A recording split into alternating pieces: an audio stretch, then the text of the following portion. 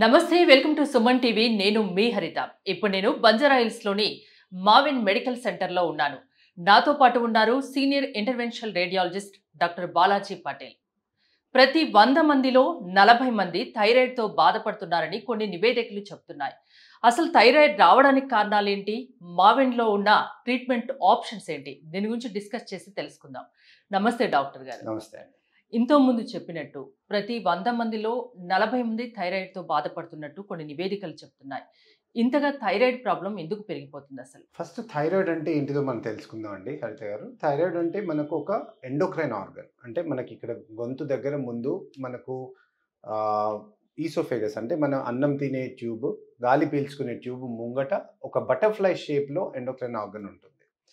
దాని పని వచ్చేసి టీ త్రీ టీ ఫోర్ అనే ఒక రెండు హార్మోన్స్ సెక్రీట్ చేయడం. అది బ్రెయిన్లో నుంచి టీఎస్హెచ్ దాన్ని రెగ్యులేట్ చేస్తుంది.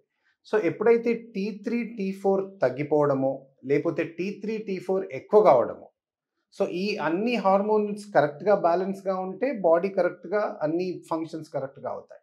కానీ ఎప్పుడైతే ఈ హార్మోన్స్ తక్కువ ప్రొడక్షన్ కానీ ఎక్కువ ప్రొడక్షన్ కానీ అవుతే కనుక దాన్ని థైరాయిడ్ ప్రాబ్లం అంట.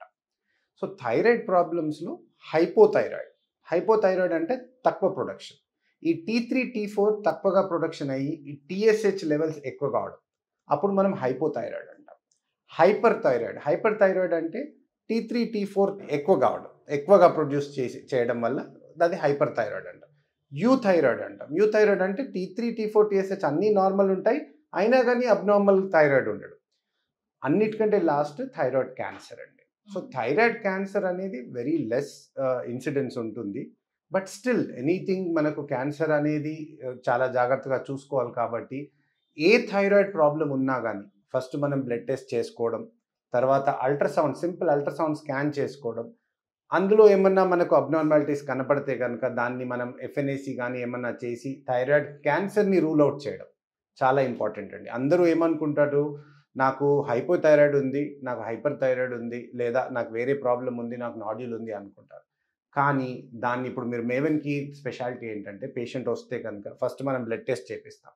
T three T four TSH చేపించేసి దాని లెవెల్స్ కరెక్ట్ ఉన్నాయా లేదా చూస్తాం. Ultrasound scan simple ultrasound scan చేసి దానిలో ఏమైనా లీజన్స్ ఉన్నాయా?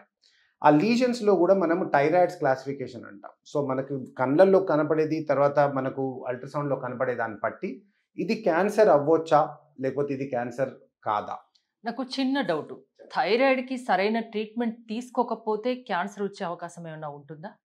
కరెక్టే అండి. ఇప్పుడు ఏదైనా మనము డిజీజ్ని మనము కరెక్ట్గా ఇనిషియల్ స్టేజ్లోనే ట్రీట్మెంట్ తీసుకుంటే బాగుంటుంది. అలా ఇనిషియల్ స్టేజెస్లో ట్రీట్మెంట్ తీసుకోకుండా దాన్ని నెగ్లెక్ట్ చేసేసి ఇంకా దాన్ని పెరగనిస్తే కనుక as it will convert in cancer thyroid ఉన్న వాళ్ళు రెగ్యులర్గా మెడిసిన్ వాడుతూ ఉంటారు. ప్రతిరోజు మార్నింగ్ లేవగానే వేసుకుంటారు. ఖచ్చితంగా డైలీ అలా రెగ్యులర్గా వాడుతూనే ఉండాలా ఎప్పటికీ? అదే అండి. ఇప్పుడు వాళ్ళ బ్లడ్ టెస్ట్ మనం చేస్తాం. T three T four TSH చేసినప్పుడు మనకు టీ త్రీ టీ ఫోర్ తక్కువ ఉందనుకోండి. సో దానికి మనము సప్లిమెంట్ ఇస్తాం. సో సప్లిమెంట్ ఇచ్చినప్పుడు ఆ బాడీకి కావాల్సిన ఆ హార్మోన్స్ని మనం సప్లిమెంట్ ఇస్తాం కాబట్టి రెగ్యులర్గా తీసుకోవాల్సి వస్తుంది. అలానే ఎక్కువగా ఉందనుకోండి. సో దాన్ని తక్కువ చేయడానికి మళ్ళీ మనం మెడిసిన్స్ ఇస్తాం. అదే యూ థైరాయిడ్ అనుకోండి. యూ థైరాయిడ్ అంటే మనకు T three T four TSH levels నార్మల్గా ఉంటాయి. వాళ్ళకి మెడిసిన్స్ ఏం అవసరం లేదు. So according to their blood levels మనం దానికి తక్కువ చేయాలా ఎక్కువ చేయాలా అనేది మనం మనం టాబ్లెట్స్ ఇస్తూ ఉంటాం. అసలు థైరాయిడ్ రావడానికి జనరల్గా ఎలాంటి కారణాలు ఎక్కువగా చూస్తున్నారు?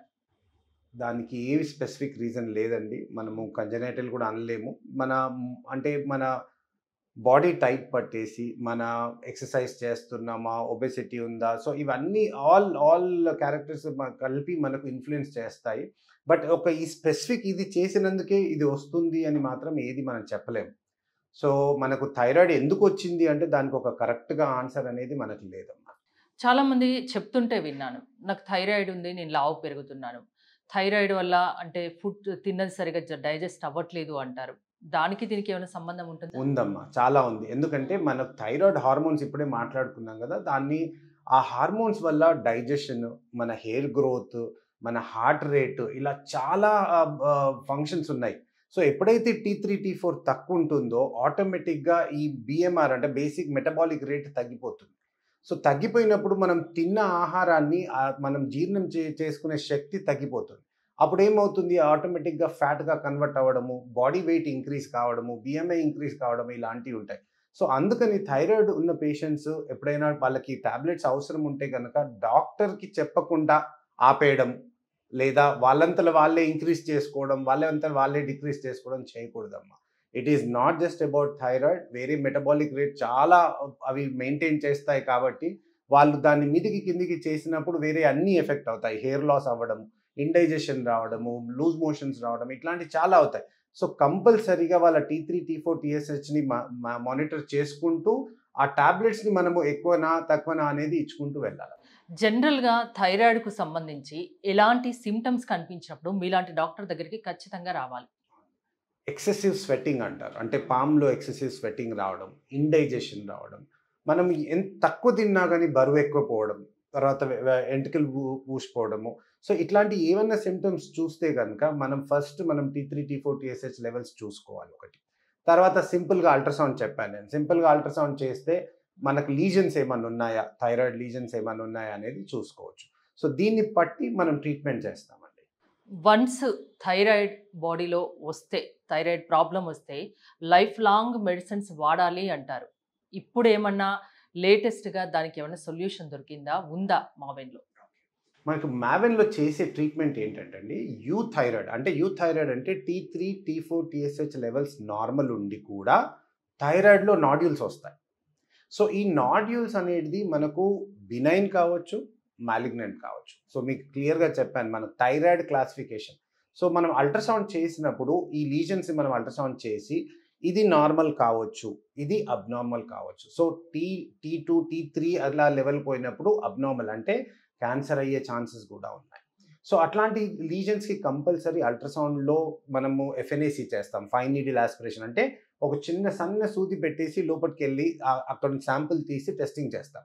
ఆ టెస్టింగ్ చేసినప్పుడు మనకు క్లియర్ అయిపోతుంది. ఇది బినైన్ అంటే మనకు క్యాన్సర్ కాదు ఇది క్యాన్సరే అంటే థైరాయిడ్ ఉన్న ప్రతి ఒక్కరి టెస్ట్ చేసుకోవాలి అంటారా మీరు? థైరాయిడ్ లీజన్స్ ఉన్న కంప కంపల్సరీ చేసుకోవాలండి. అండ్ థైరాయిడ్ హైపోథైరాయిడ్ కానీ హైపర్ థైరాయిడ్ కానీ ఉన్న పేషెంట్స్ కూడా రెగ్యులర్గా అల్ట్రాసౌండ్ అనేది చేసుకోవాలి. ఎందుకంటే వాళ్ళకి లీజన్స్ వచ్చే ఛాన్సెస్ చాలా ఎక్కువ ఉంటాయి so at least once in a year or twice in a year వాళ్ళు కంపల్సరీ చేసుకోవాలి. అంటే అంటే once in two years once in two years కన్నా ఒకసారి చేసుకోవాలి. చేసుకున్నప్పుడు ఈ లీజన్స్ ఏమైనా పెరుగుతున్నాయా? ఏమైనా మార్ఫలాజికల్ చేంజ్ అవుతుందా? కాల్సిఫికేషన్స్ వస్తున్నాయా? ఇట్లా చాలా క్యారెక్టరిస్టిక్స్ ఉంటాయి. ఈ క్యారెక్టరిస్టిక్స్ చూడాలి అంటే మనం పైన నుంచి ఓన్లీ స్వెల్లింగ్ కనపడుతుండొచ్చు. మీరు చాలా మంది పేషెంట్ చూస్తుంటారు ఇక్కడ. గొంతు దగ్గర స్వెల్లింగ్ ఉంటుంది. ఏందమ్మా అంటే థైరాయిడ్ ఉందండి మాకు థైరాయిడ్ వల్ల అవుతుంది అని అంటారు. బట్ ఆ పేషెంట్స్ కంపల్సరీ అల్ట్రాసౌండ్ చేసుకోవాలి. అందులో ఏమన్నా లీజన్స్ ఉంటే దానికి ఎఫ్ఎన్ఏసి కంపల్సరీ రెగ్యులర్గా చేసుకోవాలి. తర్వాత ఆ మందులు కరెక్ట్గా తీసుకుంటున్నారా లేదా T three T four levels పట్టి వాళ్ళ మందుల్ని టైట్రేట్ చేస్తారు. ఎక్కువ చేయడము హండ్రెడ్ ఎంసీజీ ఫిఫ్టీ ఎంసీజీ అలా పైకి కిందికి చేస్తూ ఉంటారు అది కంపల్సరీ మానిటరింగ్ అనేది రెగ్యులర్గా కావాలి. నేను ఎప్పుడో సంవత్సరం కింద ఒకసారి డాక్టర్ని కలిశాను. ఆ రెండు సంవత్సరాల నుంచి అదే మందులు వాడుతున్నాను అంటే కుదరదమ్మా. అది కరెక్ట్ కాదు. థైరాయిడ్ని నెగ్లెక్ట్ చేయడం వల్ల ఎలాంటి కాంప్లికేషన్స్ కనిపిస్తాయి? అదే ఇప్పుడు ఇప్పుడే మాట్లాడుకున్నాం. సో థైరాయిడ్లో లీజన్స్ రావచ్చు. ఆ లీజన్స్ పెరిగిన కొద్దికి ఏమవుతుంది అంటే ఇప్పుడే మనం చెప్పుకున్నాం. It it is in front of మనకు ఊపిరి తీసుకునే పైప్ అన్నం తినే పైప్ ముంగట ఉంటుంది అది సో ఎప్పుడైతే ఆ సైజు పెరిగిపోయిందో దాని thyroid it will compress that. మనకు ఆ విండ్ పైప్ని మన దీన్ని అన్నం తినే పైప్ని రెండుని కంప్రెస్ చేసినప్పుడు మాటలు బొంగు రావచ్చు.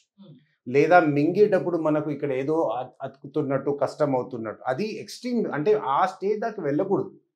మనం అక్కడ దాకా వెళ్ళాక నేను వచ్చి ట్రీట్మెంట్ తీసుకుంటా అంటే ఇట్స్ నాట్ గుడ్.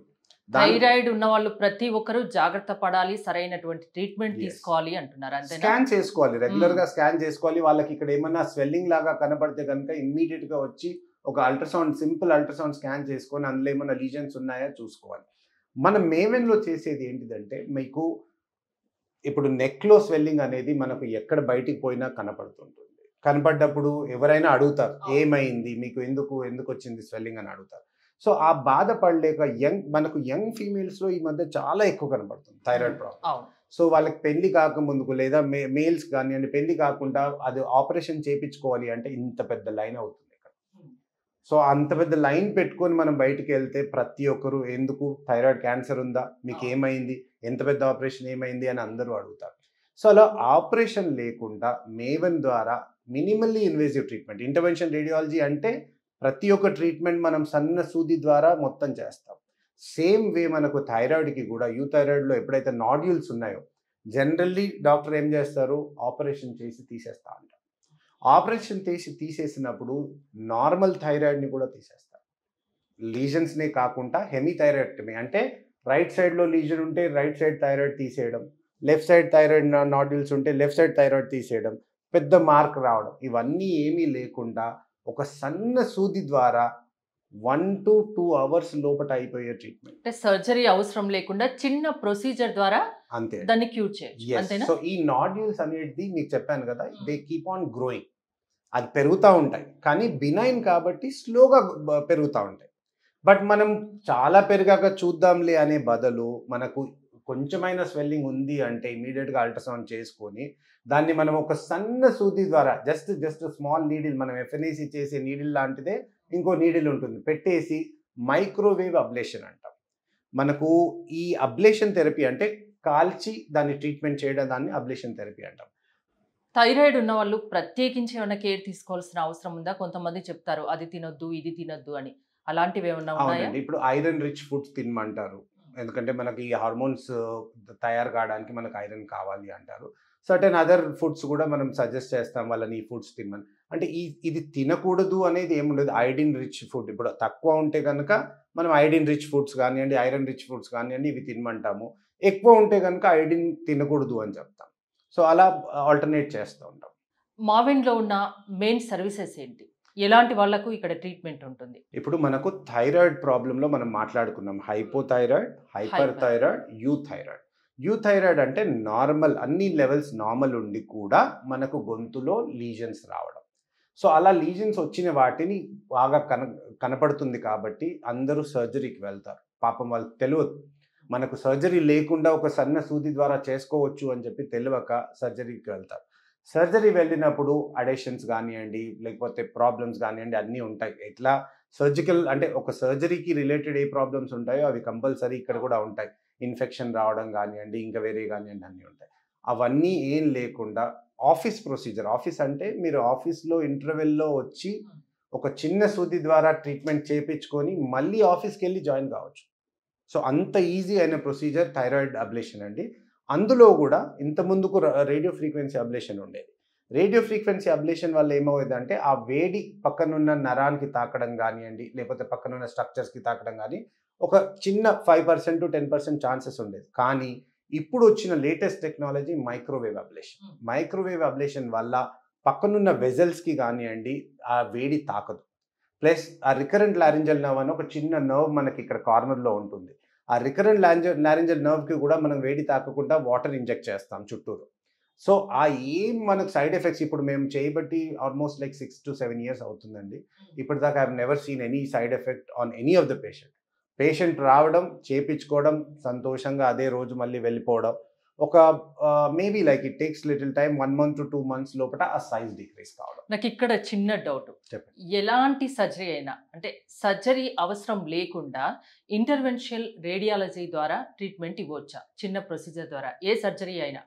అన్ని సర్జరీస్ కావండి కానీ. We almost treat around more than hundred diseases so మీరు లివర్ క్యాన్సర్ నుంచి తీసుకొని బ్రెయిన్ని తీసుకొని ఎక్కడ అంటే వి మోస్ట్లీ వెజల్స్కి రిలేటెడ్ ఉన్నాయి కానివ్వండి లేదా సాలిడ్ ట్యూమర్స్ అంటే మనకు గడ్డల్లాగా అంటాం కదా బ్రెస్ట్ బోన్ ఎక్కడి నుంచి లంగ్ కానివ్వండి ఇవన్నిటికి కిడ్నీ కానివ్వండి ఇవన్నీ ట్యూమర్స్ని కూడా మనం ఇదే సేమ్ ప్రొసీజర్ ఇప్పుడు ఏదైతే మనం వాడుతున్నామో చిన్న ఎగ్జాంపుల్ అండి మనము ఫుడ్ని తీసుకెళ్ళి మైక్రోవేవ్లో పెడతాం. ఎందుకు పెడతాము? బ్యాక్టీరియా చనిపోవాలి అని. సో ఒక సర్టెన్ టెంపరేచర్కి వెళ్తే దాని చుట్టుపక్కల ఉన్న టిష్యూని చంపేస్తుంది. సేమ్ అదే టెక్నాలజీ మనం యూజ్ చేస్తున్నాం. ట్యూమర్కి కానివ్వండి అంటే క్యాన్సర్కి కానివ్వండి లేకపోతే బినైన్ లీజన్ కానివ్వండి ఆ ట్యూమర్లో మనం ఈ ప్రోబ్ అంటే రాడ్ ఉంటుంది. ఈ ప్రోబ్ ఇట్లా లోపల పెట్టేసి ఒకసారి వేడి చేస్తే దాని చుట్టుపక్కల ఉన్న టిష్యూ చనిపోతుంది. ఇన్స్టెడ్ ఆఫ్ ఆపరేషన్ చేసి తీసే బదులు అక్కడ ఉన్న టిష్యూని అక్కడనే చంపేస్తుంది.